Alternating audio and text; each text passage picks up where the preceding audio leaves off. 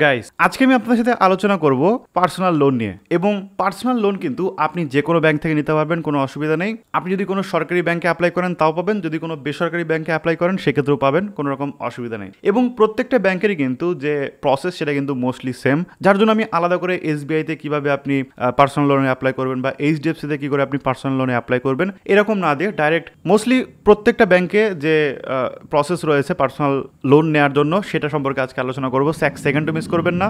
যদি আপনি ফিউচারে পার্সোনাল লোন নিতে চান, তো সেক্ষেত্রে কিন্তু আপনার খুবই উপকার হবে, এগুলো জেনে রাখলে। সো দেখতে থাকুন সম্পূর্ণ ভিডিও মেন টপিকে যাওয়ার আগে সবার কাছে একটা রিকোয়েস্ট আমার চ্যানেলে যদি আপনি নতুন হয়ে থাকেন এবং এই মুখটা যদি প্রথম দেখে থাকেন প্লিজ একটু কষ্ট করে সাবস্ক্রাইব করবেন এবং পাশে থাকা বেল আইকনটিতে ক্লিক করে দেবেন। তাহলে যেটা হবে, আমি যখন কোনো নতুন ভিডিও নিয়ে আসব, সবার আগে দেখতে পারবেন এবং কোনো ভিডিও আপনার মিস হবে না। দেখুন পার্সোনাল লোন নেওয়ার জন্য আপনাকে কিন্তু দু, তিনটে প্রসেসের মধ্যে আপনাকে যেতে হবে। তার আগে এই যে এই যে প্রসেসগুলো রয়েছে, তার আগে কিন্তু আপনাকে অবশ্যই আপনার অ্যামাউন্টটা ভেবে নিতে হবে? যে আপনার কত টাকার পার্সোনাল লোন দরকার পড়বে। এই যে পার্সোনাল লোন নেওয়ার যে ব্যাপারটা না, এখানে কিন্তু আপনাকে দু তিনটে প্রসেসের মধ্যে দিয়ে যেতে হবে। বাট তার আগে আপনাকে আপনার বাজেট সেট করতে হবে, যে আপনার কত টাকার পার্সোনাল লোন দরকার। সেটা যদি আপনি সঠিক না নির্বাচন করতে পারেন, সেক্ষেত্রে কিন্তু আপনার পার্সোনাল লোন রিজেক্টও হয়ে যেতে পারে। সেটা কীভাবে আপনি সিলেক্ট করবেন? দেখুন, মোটামুটি প্রায় তিন বছরের জন্য আপনি কিন্তু পার্সোনাল লোন পেয়ে যাবেন এবং আপনাকে এমন একটা ইএমআই লিমিট সেট করতে হবে, যেটা কিন্তু আপনার স্যালারিটাকে যেন পার করে না যায়। মানে হয়তো বা আপনি স্যালারি হচ্ছে আপনার মাসে স্যালারি তিরিশ হাজার টাকা।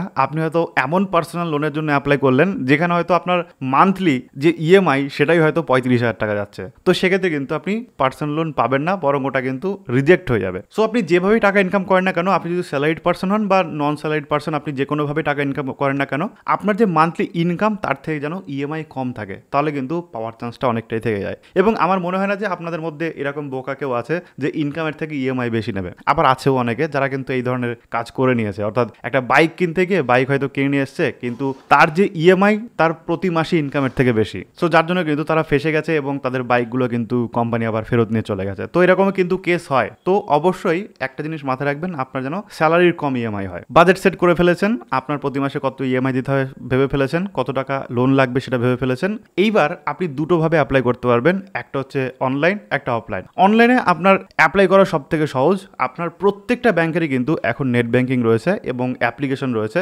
আপনার যে ব্যাংকে অ্যাকাউন্ট থাকে না কেন, আপনার এসবিআইতে হোক বা এইচডিএফসিতে হোক, তাদের যে অফিসিয়াল ওয়েবসাইটে সেখানে যাবেন অথবা তাদের যে অফিসিয়াল অ্যাপ্লিকেশন সেখানে যাবেন। সেখানে অবশ্যই কিন্তু আপনি দেখতে পাবেন পার্সোনাল লোনের একটা সেকশন রয়েছে এবং সেখানে যাবেন। সেখানে গিয়ে আপনার কত টাকা লোন দরকার, আপনার পুরো ডিটেলস আপনার Aadhaar card voter card PAN card সবই ওখানে দিয়ে দেবেন এবং অ্যাপ্লাই করে দেবেন। এরপরে যেটা হবে সেটা হচ্ছে কোম্পানি বা ব্যাংক আপনার যে কেওয়াইসি ডিটেলস সেটা ভেরিফিকেশন করবে। ভেরিফিকেশন করার পরে আপনার যে স্যালারি স্লিপ যদি থাকে স্যালারি স্লিপ চেক করবে বা আপনার যে আইটি ফাইল থাকলে আইটি ফাইল চেক করবে বা আপনার ইনকাম প্রুফ দেখবে, আপনার ব্যাংক স্টেটমেন্ট দেখবে এবং সমস্ত কিছু ভেরিফাই করার পরে ব্যাংকের যদি মনে হয় যে না, এই ব্যক্তি আসলে আমাদের লোনটা পরিশোধ করতে পারবে, তো সেক্ষেত্রে কিন্তু আপনার যে লোন সেটা কিন্তু স্যাংশন হয়ে যাবে এবং খুব তাড়াতাড়ি কিন্তু আপনার ব্যাংকে চলে যাবে যেরকম আপনার ব্যাংক অ্যাকাউন্ট যদি এইচডিএফসিতে হয়, সেক্ষেত্রে এইচডিএফসি বলে যদি আমাদের এক্সিস্টিং কাস্টমার হয়, সেক্ষেত্রে দশ সেকেন্ডের মধ্যে তারা কিন্তু আপনার অ্যাকাউন্টে টাকা মানে ঢুকিয়ে দেয় যদি স্যাংশন হয়ে যায়। আর যদি নন এইচডিএফসি কাস্টমার যদি আপনি হন, সেক্ষেত্রে কিন্তু মোটামুটি চার ঘণ্টার মধ্যে তারা কিন্তু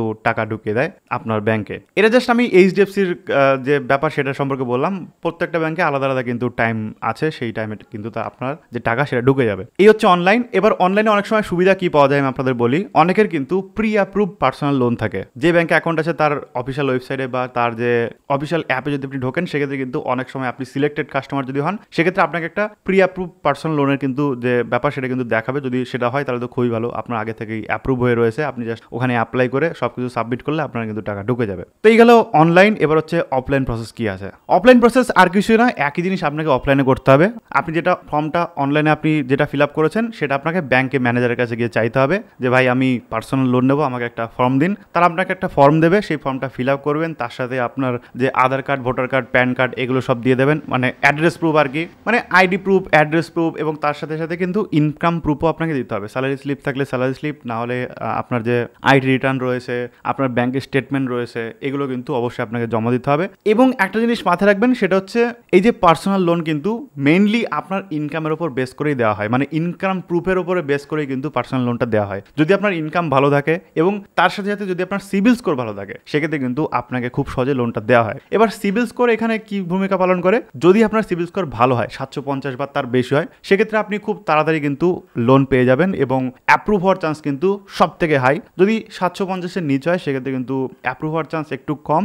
এবং যদিও বা অ্যাপ্রুভ হয়, সেক্ষেত্রে কিন্তু আপনার লোনের যে ইন্টারেস্ট সেটা কিন্তু বেশি হবে। অর্থাৎ ইন্টারেস্ট রেট বেশি হবে। যদি আপনার সিভিল স্কোর ভালো হয়, সেক্ষেত্রে কিন্তু ইন্টারেস্ট রেটটা অনেকটা কম হবে। তো এটা কিন্তু একটা বেনিফিট সিভিল স্কোর ভালো থাকলে। অর্থাৎ আপনার যে প্রিভিয়াস লোনগুলো আপনি এর আগে নিয়েছেন, তো সেক্ষেত্রে সেটা সঠিকভাবে শোধ করেছেন কিনা, সেখানে কোনো ওভার ডিউ আছে কিনা, সেখানে কোনো আপনি মানে ইএমআই ডেট ফেল করেছেন কিনা, এই সমস্ত দেখে কিন্তু আপনার সিভিল স্কোর হয়। এবং সিভিল স্কোর ভালো থাকলে আপনাকে কিন্তু এই ধরনের সুবিধা দেওয়া হয়। অর্থাৎ ক্রেডিটের ক্ষেত্রে কিন্তু ভালো একটা সুবিধা পাওয়া যায়। ওকে, সো মেন কথায় আসি। একইভাবে আপনি জমা দিলেন ব্যাংকে এবং ব্যাংক ম্যানেজার ওটা দেখবে এবং ভালো করে দেখে কেওয়াইসিটা দেখে নেবে যে সব কিছু ঠিকঠাক আছে কিনা।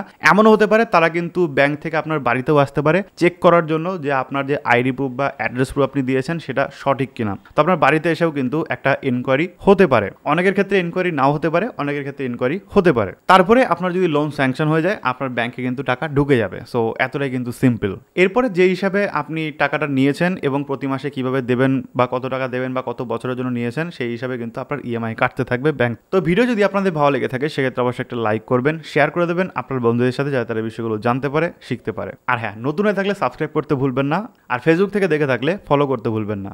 টাটা।